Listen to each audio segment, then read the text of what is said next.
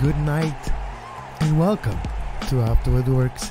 I'm Kevin Laramee, and of course, we are back to talk about the Montreal Impact, to talk about MLS is back, the tournament, to talk about the result or the lack thereof of the Montreal Impact in their first game back after 124 days without a competitive matchup for the Montreal Impact tonight. Earlier tonight, they faced against the New England Revolutions in Florida, in Orlando, in the ESPN Worldwide of Sports. And they lost 1 nothing. And we'll obviously talk about the loss. We'll watch and listen to Thierry Henry's press conference together parts of it. I was able to take part in the virtual press conference after the game, and we'll listen to some parts of it. We'll also talk about the performances that did impress me from the Montreal Impact side. We'll talk about once again Luis Binks Ballou coming off the bench. We'll also talk about Wanyama Quioto, and we'll also talk about some performances that were, were quite lackluster and maybe the, the thought behind the starting 11, the Wanyama Piette and the Piette Wanyama dilemma. We'll look at it and we'll look at a few different ways. And we'll obviously, like I mentioned, look at Thierry Henry's press conference, which was, was actually quite interesting.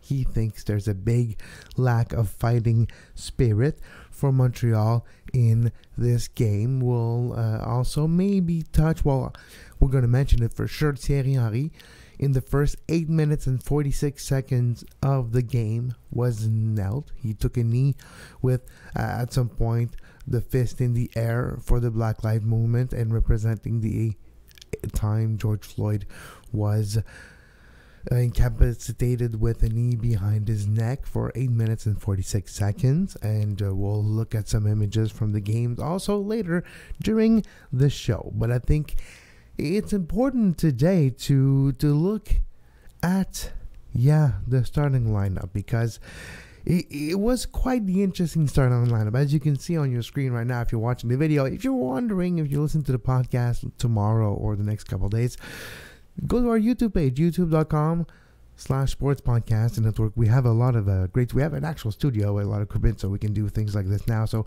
we're both watching together. Our screen here. Here's was the signing eleven for the Montreal Impact. Let me put myself a bit smaller, even. So Maxi Urruti, the lone striker, Orji Okwonkwo, Victor Wanyama, Saphir Taider and Bojan, Samuel Piette as a uh, left back, a right back. Yeah. Zachary Brault-Guillard on the bench and Piette as a right back. Okay. I don't understand yet, and I haven't. This was something interesting. And, and I don't know.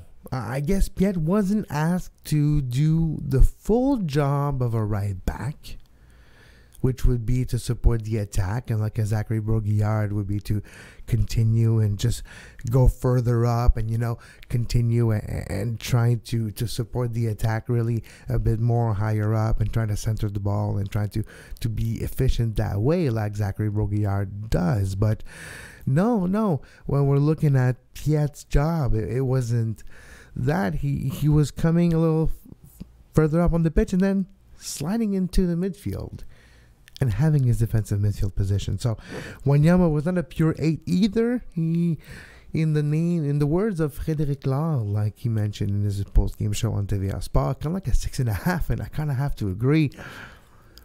You chase the natural and it comes back always, right? So when you had Wanyama to me, who had a always the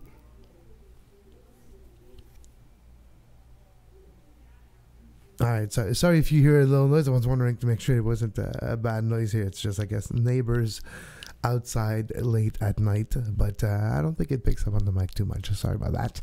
Live radio, folks, and if you're watching the video, it's kind of interesting. But Piette, to me, was a disappointment, and it's not his fault. I just think he wasn't put in a situation that he's used to, and that is uh, to the benefit of his strength and to the benefit of the team. So we'll see what that what happens of the Piette Wanyama dilemma. because it's not going to stay the same for the next couple of games. But the next game is only in five days against Toronto FC at 8:30 p.m.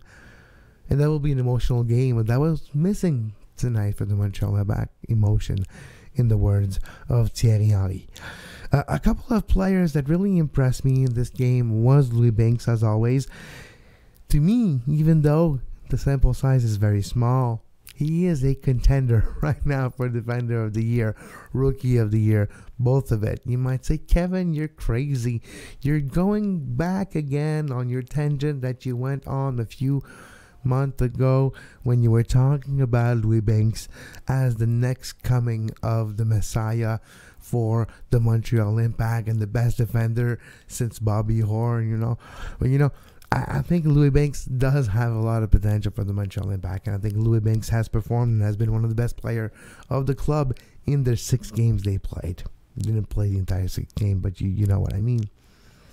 So to me, that's a very important aspect of the Montreal Impact this year is Luis Binks and his work and the amount of stability and reassurance. He did an amazing uh, save uh, on the line at the beginning of the damn freaking game, mid midpoint, saved a clear cut goal and was there to save mistakes from Raitala and from Piette all night long. So Luis Binks truly, truly the best player for the Montreal Impact in this game, in my opinion. All right, before we continue and talk about more players that impressed us, we look at pictures together and we talk about Ballou, Wanyama, Quioto, even, and even at Binks a little bit more. Let's listen to Montreal Impact manager Thierry Henry's press conference after the game. It was, of course, a virtual press conference, and I had the pleasure to take part. But this is uh, the official video that you can uh, watch um, in a we'll second. to English. And, uh, Joey Alfieri from uh, TSN 690.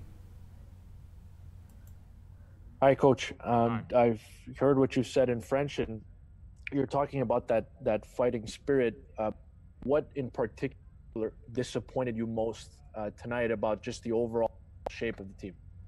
No, I told you I won't talk about no shape. If you don't fight and you don't win battles and you lose balls, like I said, I will repeat the same thing. There is no need to even to talk about tactic. There was nothing to do about tactic today. It was about desire that we didn't have, that it can happen, like I told you. I'm not questioning the question, the, the, the desire of my player, but tonight it wasn't there. Hopefully it will be there against Toronto. Next question, Herb is Kowski from the Gazette. Herb, uh, you're unmuted. Thank you. Uh, thanks, Terry. Yes, just uh, basically, I guess we're all talking about the same thing, but we really didn't know what to expect tonight. And, and now that the game's over, uh, other than that lack of fight, that lack of spirit, is there anything in particular? Are you surprised that your team did not generate more uh, scoring no, chances? Not at all. Like I said to you, we didn't know where we were going to be physically. Uh, but that's not an excuse. Like I said to you, there's one thing that always I've been talking to the team and talk about before this game is how we did we do fight, and you saw that before at the beginning of the season. Uh, and then at the beginning of this season, again, uh, that didn't happen. Like I said, this is not an attack against anyone, but that didn't happen uh, tonight, and so we need to rectify that against Toronto. Next one is from uh, Doug Gillivan from CBC.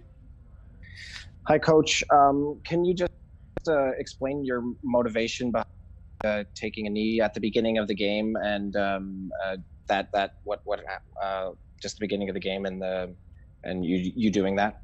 Well, I sat down for eight minutes and 46 seconds. I guess you guys know why.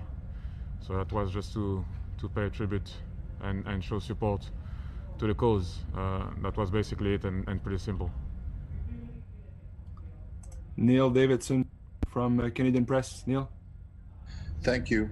Uh, Thierry, do you think that the fighting spirit that you mentioned, do you think that is due to the, the long layoff? And if so, do you are you confident it can come back next game? No, listen, I've been trying to say something that happened tonight. I'm not saying that it won't happen again. Uh, you have to be honest. Give credit to uh, uh New England. Uh, we managed to beat them once. They beat us t- tonight, and um, you know um, they were they wanted more than us. Uh, we made too many mistakes on the nose, on the no pressure. uh, individually and as a team uh, in order to win this game. But uh, hopefully we'll come back. This is something that we we want to have and we did have before the break, and so hopefully we'll come back as quick as possible. Ian. Uh, hold on, Ian. No, it doesn't work. Uh, Paul Vance, no.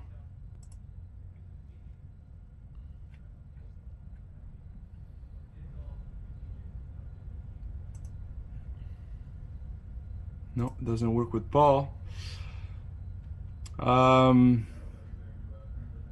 Kevin Laramee. Your mic is open, Kevin. go to Uh, yes, coach. Uh, did it make a big difference having five substitution versus a normal three? Well, obviously you have more options. Uh, you saw that we had a couple of uh, uh Romel kind of came on okay. Uh, we had an opportunity with Ballou at the end, but uh, like I said, very difficult to judge. It makes it better because you have more choices, obviously, and we were running after the score, so I had a poss possibility to play more strikers and put more strikers on the field, but it didn't happen for us to, to come back. Jérémy Filosa, 98.5, français, Jérémy. Oui, bonjour, coach. Euh, on tout juste de se And we're back on soccer today. No, this is Off the Woodworks, and we're back on Off the Woodworks, and it's fun to be with you once again today for a post game show. This was Thierry Henry's press conference, and to me, uh, this is a, a, fascinating time to uh, to have Thierry Henry as the manager of the Montreal Impact because of uh, not only him growing as a manager tactically, but also the entirely weird situation of the pandemic, of this group stage World Cup format, World Cup champion You know, you know where I'm going with this. Uh, there's something I think kind of fascinating of having someone like Thierry manage the Montreal Impact right now in this turbulent time with a lot of experience as a manager in a you know cup format in a tournament format and we'll see how this changes and how this turns out to be maybe beneficial for Montreal. But Montreal does start like terrible though because this loss it actually is quite hurtful because now you have games against Toronto against again DC United. Toronto clear cut favorite in this group. Is Montreal better than DC? I don't know. I thought Montreal was better than New England, but I guess that was on the Montreal Impact synthetic field, and according to Bruce Arena, one of the worst places in the world to play football.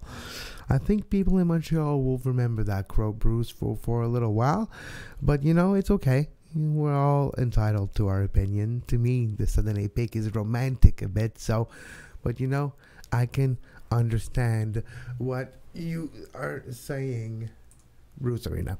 And of course, uh, sorry about that. I need to change TV. I need to be able to get ready for the next segment because we're gonna talk about one of my coup cœur, I would say, my one of my favorite players of the games, and to me, one of my favorite player of the game this time around. Victor Wanyama showed a lot of promise to me. Samuel Piette, we've talked about it, wasn't that easy. It was uh, difficult in a weird position. Here's Thierry Henry at the beginning of the game. But I want to talk about Ballou. I want to talk about how Ballou was able to show a lot of potential still and show that he still have the same move that have impressed us a few years ago late in this game. Quioto showed a lot of great influence on the game coming into late. But to me, Ballou coming into this game, having the best chance for the Montreal Impact in this game, bar none. Here's Ballou. And you know, it was a left foot from about 23 yard, and it was Matt Turner's biggest save of the game. It was a win saving save by the goalkeeper from New England. And I do have a great it impressed me by Ballou because it looked like nothing. It was like a nothing play. He tried to shimmy there, trying to do a little cross there, came back, put it on his left foot, give a curler. Like it wasn't ideal. It was not an ideal shot by Ballou. And to me, that's really important because you don't score all the time on the ideal shot. You never. And if you just wait for the ideal shot, you'll never freaking score. And we've seen how many times, not just Piatti or other people, but how many times have we seen different type of players trying to just always get the perfect shot on the perfect the perfect cross to get the perfect header or the perfect shot? And it never never works. It takes forever. This looks like nothing. Ballou took the ball. The uh, best shot of the game for Montreal. This close of scoring Urruti golden boot of MLS soccer this season so far still did not score in this game and I think that's a good barometer for the Montreal Impact if Urruti score and a Quioto score, but Urruti, Urruti might be the barometer. If Urruti score, Montreal wins. Maybe not because he scored against Dallas and they drew against Dallas and won against New England in the regular season. This counts as the regular season tonight. Let's not forget the three games of the group stage counts as regular season game in Major League Soccer for the Montreal Impact. So that is important to remember. That is true, and that does not change right now. Maybe there will be more season down the road, but for now it's a five game season. And Montreal had four points after two games, and they still have four points after three. Of course, a knockout stage, once you get there, you get there, and it's something different, and we can talk about that uh, on another edition of Off the Woodworks, which will probably come after the Toronto FC game on July 15th later on at night. Probably similar to the same timing as this right here tonight. But you know, if you're watching on YouTube, thanks again to watching. And if you're watching on podcast, thank you for subscribing. We're able to do this and do the post game shows like we're doing this with all the new technology because of your subscription on podcast and on Patreon. And we really appreciate your support over the years. So, what does it mean? The Montreal Impact losing their first game and MLS is back? Not a whole lot. But Thierry Henry felt really angry after the game. You you heard it, and in French at the beginning of it, if you missed it, he was talking about the fighting spirit. He didn't want to talk about nothing else about the game, no performances, individual people, and to me, that's indicative of a player who's like a manager. Sorry, who's frustrated already. Um, is it related to how the team plays? And that's what he mentioned. So hopefully that's that, but. We'll see if there's any ways for that to change so quickly. Next game is in five days, and then there's three days after that, and then the group stage over. And are you moving on? Are you done? What happens then? By the way, if you missed the news, Nashville's out, Dallas out, Chicago is now in Group B. So, yeah, you got six groups of four. Makes sense. Top two of every group. That's eight. Move out. No, that's six times that's 12. Move out. And then you need four more to make 16 to make two brackets of eight. And then it's easy, you know. And you get the four of the six best third place finishers. So if you're Montreal, this loss is not a good way to start because you need at least four points in this tournament. Four to five points will be, I think if you get five, I think it will be almost automatic that you're moving on to the group stage, well, to the knockout stage because one win, two draws, yeah, that will for sure be a top four out of six even four might be good enough. So you need a win, a draw, and you can afford to lose one of the group stage. Montreal just lost already. They're facing Toronto next. Toronto is one of the favorites of this tournament, along with LAFC and with Seattle. Will even Atlanta also with the way they played earlier this year, if Ezequiel Barco can replicate the form he showed in Major League Soccer earlier this year, maybe it is a potential winner for Atlanta too. But Montreal did not make this easier on themselves by losing the first game. Now, if you don't put too much thought into the knockout stage of this tournament, if you just think about it as the regular season games, three games, okay, you lost one. It doesn't matter because you had four points before. You did better than anticipated or than than people predicted in your first two games. You lost the third. Now, if you get two points or three points for sure, if you get one win, example, you, you beat DC and you you lose against Toronto, you got three points. Turns out that that one may give you seven points after five games. Not ideal, but not catastrophic. You know, you're in the playoff position in Major League Soccer, you know. That is if you don't care about MLS's back tournament. That's if you don't care about the prize money, and that's if you don't want to go after the CONCACAF Champions League ticket that is dangling at the end of this thing. And that's the question. What is the mentality of the players? So far, players do feel compelled to perform well. We'll see if that continues. We'll see if Piette will adjust as a as a as a right back, or he won't have. Maybe Zachary Brault-Guillard will play the rest of the games there, and maybe they'll find a way to make Piette play with Wanyama better in the midfield. Will Urruti score? Maybe Urruti needs to score a goal or two. Boo, boo! This guy for New England is good. Carlos Gil or Carlos Gil, Gil, Carlos Gil uh, of New England 12 chances created with also one assist. And that's a record for New England players since Opta started to collect this statistic in 2011. So that's an interesting, useless fact that uh, I have to give a shout out to Tristan Amour for sharing this uh, publicly made stat by Opta. And that is quite fascinating. We talked about Luis Binks. Again, solid mature performance by this young defender. What a deal, what a steal. He is, to me, one of the best young soccer players I've ever seen. I've seen a few good ones. Some of them are playing in Europe and for Bayern Munich now. I've seen them when they were a lot younger. You know, I've seen a few of them over the years. Luis Binks. Yeah, he's gonna play with England one day. Like Luis Binks is going to play for the England national team one day. So, that being said, that's how good he is. So let's enjoy Luis Binks while we can, because might not be here for that long. Okay, so so let's enjoy it. Let's cherish every time we can watch the young lad, Ballou.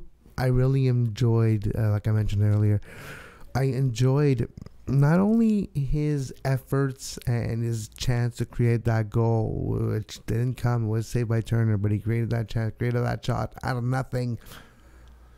But his is his implication there. We saw Lappalainen come in a little later, not having that same spark on the game. And Quioto will be the one starting most of the games on left attacking midfield position and will have that role of bringing that spark for the first 65 70 minutes. Then you sub in Ballou, and if Ballou can come in and give you that spark in the last 20 and gives you one or two scoring chances like the one he did tonight, every single game as a sub, you just create one or two clear cut, replicable scoring chances like he did tonight. He's going to score one every two, three games. If you create two chances like this or replicable or even a little less still, those goals will be so important for for the impact and for the results uh, of the team. That's exactly how I envision this being the best case scenario, at least at that position. You know, replacing Piatti. You cannot replace Piatti. That's what I was mentioning all off season. I say you cannot replace Piatti by one person. But you can replace Piatti by a committee, and maybe that committee is Urruti and Ballou. You add in some Okwonkwo, five to ten goals for good measure. Maybe closer to seven, eight, like he did last year. Maybe you also add a couple of Urruti goal the middle of nowhere. Maybe he already has three, so that's more than we thought. Let's say he scores seven to ten before the end of the season, and you maybe count another ten to twelve for the Quioto Ballou committee. Maybe 15 for both of them. Well, you replace Piatti's performances and his contribution on the score sheet and then some. So maybe we're onto something. Maybe that's what the Montreal Impact was thinking of all along, and we'll see if it works. But right now, in Orlando, at MLS's back tournament, the Montreal Impact has lost their first game 1 0 against the New England Revolution. But hooray! Yes, it is not Teal Bunbury who scored. That is always a joyful day when Teal Bunbury does not score against a Canadian team. He loves to do so. He loves to rub it in. And I don't think I've ever told this story here on the Off the Woodworks. I have on Soccer Today. Dwayne has on Soccer Today multiple times. It's kind of like his story. And I kind of mentioned the story too on a New England podcast that I was on a couple of nights ago. It's called the Six States One Pod. And it was to preview the game tonight. But you know, Teal Bunbury is actually born in Canada. He's actually born in Montreal. That's where he's born, right here, where we're from. Actually, not too far from where I am right now. So, Minnesota right after, and eventually he was more brought up in the States. But Alex Bunbury, when he was younger, and now Alex Bunbury is the father of Teal, Canadian men's national team legend. Alex Bunbury played in Portugal, but before that, played in the old CSL, played with uh, the Supra, I believe, or the Impact, even back in the 93 days, or uh, played with anyway. So, long, long time ago, I was not really follow. Even though I remember going to one Supra game in 1992, I was eight. So my breakdown analytically of the roster and to say, do I remember if Alex Bunbury was there? I would be lying to you if I would tell you that I that I do. But Teal did not score tonight, so that's kind of good. But the Montreal Impact did lose. And we'll see if that changes now that they can train together once a day. They're going to play a couple games. There should be some progression. The impact, and we're not going to rub it in, we're not going to use it as an excuse for the impact because it's the same for a few teams in the league, and it is what it is. What do you want to do about it? You know, there's a global pandemic. You couldn't train together more, as much as other teams could because other teams are living in a place where authorities were allowing more close contact to take place without restrictions, which was not the case in Montreal up until just a few weeks ago. So the impact though they do have a a lack of progression of, of, chemistry because of the of the pandemic and everything that stopped and the fact that they couldn't start training together up until just a few weeks ago you don't have the same amount of growth tactically of the chemistry of the, the marks of just the instincts together as, as soccer players. It takes a while to build these chemistry and these strings of of of chemistry of instinct of knowing what you're going to do of just knowing each other as players. That takes a while to get back and to get all in the same groove and rhythm you know? So teams that uh, have been able to practice together a little longer like Revolution and others like Philly. You know, there, here's a good a good story for you on Philly. Philly in Pennsylvania, they were not allowed to train up until just not too long ago. There's always loopholes. In the states, you can always drive somewhere you'll find out yourself you're not in the state or you go on a reserve somewhere. Well, Philly just went out of state, an hour and a half drive we're not a state able to practice together. You know, there's always ways to do things, but not when you're in our country, in Canada, and in our province of Quebec, and you couldn't go anywhere else. You had to stay in Montreal. You couldn't go anywhere else. So you couldn't just take the planes and and go practice somewhere else. So the impact we're in a unique situation, and we'll see if that actually impedes them in this tournament so far. They've started with a loss, but we've seen teams like Miami already lose. We've seen NYCFC lose also. So it's not like the results have been predictable so far in this tournament. And maybe they will be down the road, maybe they won't. And that's the beauty of this thing. And this thing continues for the next month. And I hope that you will join us on Off the Woodworks for the Montreal Impact game. And of course, on soccer today, Monday to Friday, around noon, probably. Tomorrow's going to be 11 if you're watching this live. But around noon, most days, there's games. We're just going to come a little after the game so we can get some, some audio and we can attend the press conference in case there's something happening. Dwayne was in the NYCFC press conference earlier today, but nothing. That's the thing, too. Like, they're not the most like it's great the setup it's kind of fun and i have to say it was really seamless to be able to talk to thierry henry who's miles and miles and miles away you know? Seamless. Talk to the players and try to get more out of a situation and try to to, to get the, the real vibe of a player was a bit difficult especially with the mask but you know it is what it is. There's only so much you can say also about this game. It does feel like a preseason game. Not just the look, not just because we're used to seeing this complex for the Montreal Impact. Remember back in the day in Orlando, we used to watch the Disney Cup. We used to watch Orlando as Orlando City.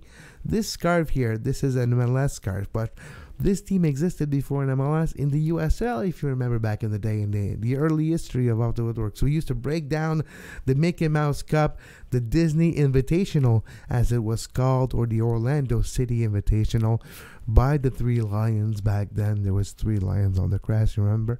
So that's a long time ago. And that's exactly the same complex that we saw tonight for the Montreal Impact and that we've been seeing for the last couple of, of games. That's the shot. That's literally the exact same shot that we're used to. So it does give the vibe of a preseason game. Looking at the play too, it does give the vibe of a preseason game too. Same for the game of Philly and NYCFC. Same for Orlando, Miami also. I have to say, I have to give credit to Bou on his rocket of a goal. What a goal! Maybe goal of the weekend. We'll see. Uh, that was quite a stunning rocket shot that Clement couldn't do anything to save. And that was quite the, the worthy goal and the worthy winning goal for the New England Revolution. Now, I hope you enjoyed this edition of Off the Woodworks post game show. You can follow me on Twitter at Kev at Off the Woodworks, and you can follow this YouTube channel, youtube.com slash sports podcasting network. If you don't know, if you're watching us live, please subscribe at the bottom of your screen right here. And as always, my name is Kevin Laramee, and I will wish you a great tournament stay safe. If you are living in a hot spot like Montreal and other places where it still may be dangerous to go out without a mask, please put the mask on. Follow the lead of the Thierry Henry, of the Jukka Raitala, and of the Saphir Taider and the entire staff of the Montreal Impact. They wear masks. It's okay to wear masks. So I follow suit also whenever I'm in public.